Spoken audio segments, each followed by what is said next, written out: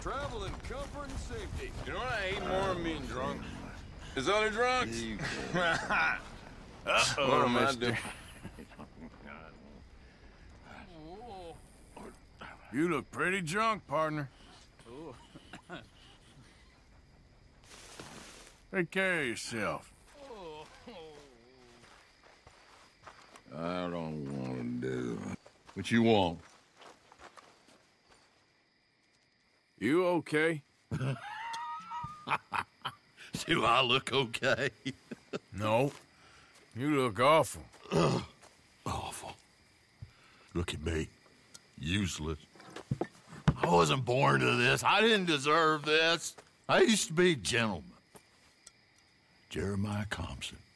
Compson's stead. Good for you, if that's anything to boast about. They took everything from me. Who did? They. And what did they take? My whole life. A whole way of living, a career. I stole a lot of things, but that's quite a lot to steal. Look at me here. Living in the shit and in the mud. I'm sorry.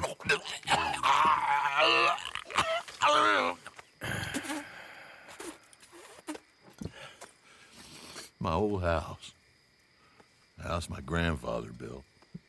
It's all dilapidated and destroyed, repossessed by the bank. I'm sorry to hear that. I was supposed to live a different life. Me too. If only I could get my old things back. Personal mementos, a watch, old pistol, my ledger. Where's this house again? Compson's Stead. North of Scarlett Meadows. Banks says I can't go near it. I'm living rough over by Eris Field. Well, if I'm ever out that way, I'll see what I can do. Time. Time is hell.